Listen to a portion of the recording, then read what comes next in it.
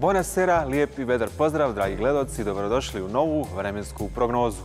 Iz kola u kolo sve je zanimljivije. Globalno zagrijavanje, klimatske promjene unose dodatnu nervozu među nas i naravno među vas, dragi igrači, što je vjerovatno razlog zbog čega u prošlom kolu nismo imali jackpot. Niti jedan.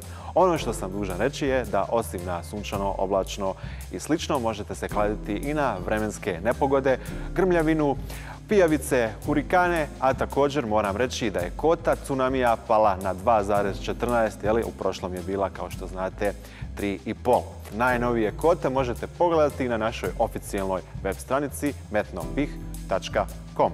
Ono što slijedi sada jeste izvještaj jučerašnje vremenske prognoze koji će nam saopštiti naša dražesna Neli Celsius. Neli, molim te, izađi, ne možemo više da čekamo.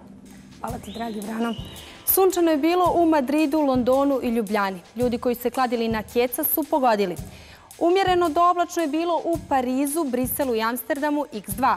Oblačno je bilo u Zagrebu, Sarajevu i Kikindi x, a kiša je padala u Tokiju, Njurku i Abu Dhabiju dvica jedinica dvica, a naša Neli za čistu peticu. Neli, gdje si prije čitala vremensku prognozu? Dogovorimo se mi posle vremenski, može?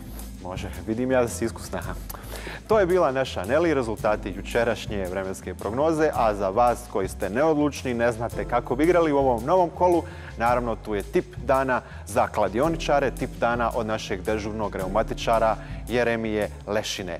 Boli me zglobovi, boli me ruke, boli me koljena, to znači da će biti oblačno. Mrda mi se ovaj kamen u bubregu maksimalno 12 stepeni. A Boga me nešto i nadima moglo bi biti vjetrovito. I kao što kažu stari i dobri Rolling Stonesi, vrijeme može biti na vašoj strani. Igrajte vremensku prognozu jer vrijeme je novac.